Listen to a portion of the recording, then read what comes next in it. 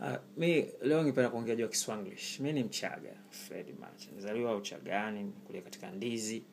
Wakati ninakuwa miaka sitini na sabini, kwa mdogo mimi, ilikuwa watu wa bara tunachekwa hatujui Kiswahili. Sasa mimi kabii nijifunze Kiswahili sawa sawa.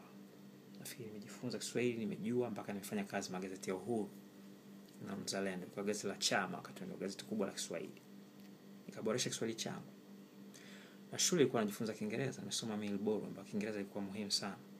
Kwa kipaumbele, nilichukua nafasi ya Kiingereza. Wakati ninafanya kazi kama mwandishi wa habari, nifunza Kifaransa. Maana nilikuwa naona watu wengi kutoka Kongo, nchi nyingine za Kifaransa, waongee Kiswahili, hawajui Kiingereza.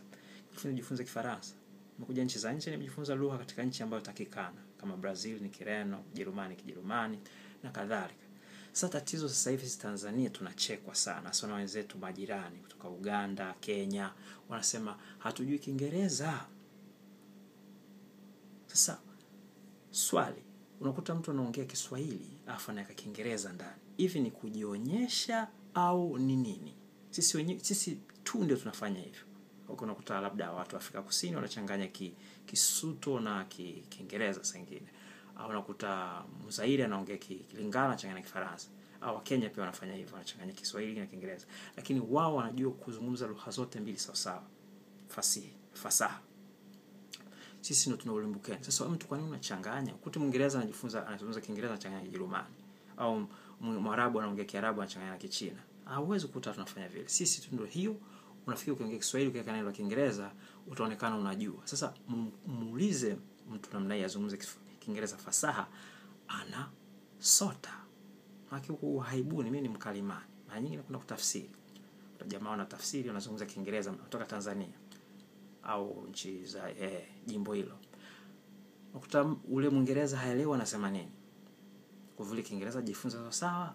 Vijana sasa hivi na tatizo. Sisi tuna bahati tulivyokuwa tunakuwa, Mwalimu Nyerere alikuwa yeye mwenyewe alikuwa anajua lugha zote mbili sawa sawa. Akatafsiri vitabu vya Shakespeare yule kuja Kiswahili. Kwa tulikuwa tunajifunza Kiingereza fasaha na Kiswahili fasaha. Siri ni kusoma vitabu takikana, kusoma sana vitabu, hasa vitabu vya hadithi na mashairi na kutazama sinema zile. Sio unachukua tu maneno unachanganya. Eh? Kiswanglish sikipende hata kidogo, maana kinazorotesha Kiswahili.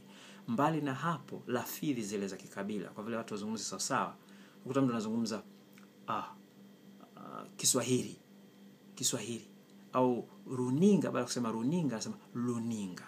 Watu wengi wanafikiria ni luninga, sio luninga, ni runinga eh? Runinga neno ambalo limechanganywa maneno mawili, runinga, sio luninga. Hiyo ni tatizo la lugha, ni kubwa sana kwetu, na tunakosa sisi kazi sasa hivi. Wanakuja wageni kuchukua, kwa vile wanajifunza Kiswahili vizuri.